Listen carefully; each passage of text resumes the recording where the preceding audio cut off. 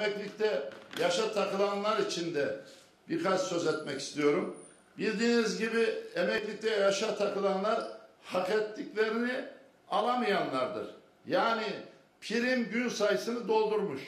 Belirlenen çalışma sürecini de tamamlamış ama yaş nedeniyle geçmişte kadınlar 20, erkekler 25 yılda 1999'a kadar emekli olurken 1999'dan sonra 2006'da da getirilen yasayla emeklilikte yaş 65'e kadar uzatılmış. Şimdi ciddi bir mağdur olan kesim var. Bu kesim bu sorunun çözülmesi için tüm siyasi partilere başvurularda bulunuyor.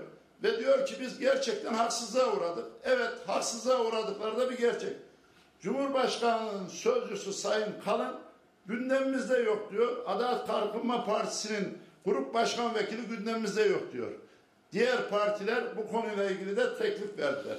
Cumhuriyet Halk Partisi'nde de benim dışında da bu konuda kanun teklifi veren arkadaşlarımız var. Ülkede binlerce kişi doğrudan ilgilendirilen emeklilikte yaşa takılanlarla ilgili sorunun mutlaka çözülmesi lazım. Burada farklı değerlendirmeler içinde olmuyor. Bunlara verilecek ücretler gündeme getiriliyor. Bunlar üzerinden değerlendirmeler yapılıyor. Peki buna çözüm bulunabilir mi? Evet çözülebilir, çözüm bulunabilir.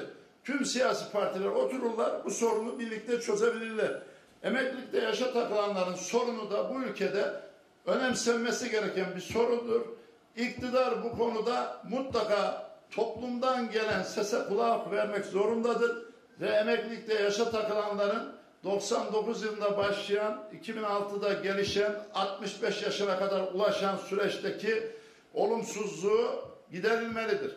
Bugün emekli olmuş ve maaş alamayan hasta ya da sorunlu ya da bir evde bir kişinin çalıştığı aileler ekonomik krizinde getirdiği sorunlarla ciddi etkileşim altındadır. Bir an önce kanun tekliflerimiz komisyonda değerlendirilmelidir. Emeklilikte yaşa takılanlar konusunda Sayın Grup Başkan Vekilimiz Özgür Özel'in dün burada yapmış olduğu basın toplantısının ardından milletvekilleri olarak Türkiye Büyük Millet Meclisi'nin internet sayfasındaki sayfalarımıza kanun tekliflerimiz daha yeni düştü. Aylardır da bu vermiş olduğumuz kanun tekliflerimiz orada görülmüyordu. Her konuda hemen hemen halktan gelen, toplumdan gelen sorunlar içinde kanun teklifleri vermiş bulunuyoruz. İntibak yasasıyla ilgili, taşeronların yaşamakta oldukları mağduriyetlerle ilgili, silah sorunuyla ilgili, işçilerin, çiftçilerin, emeklilerin sorunlarıyla ilgili kanun tekliflerini Türkiye Büyük Millet Meclisi'ne sunduk. Hani sık sık diyorlar ya milletvekilleri kanun yapacak. Meclisin yapısındaki değişiklikle milletvekillerinin bu konuda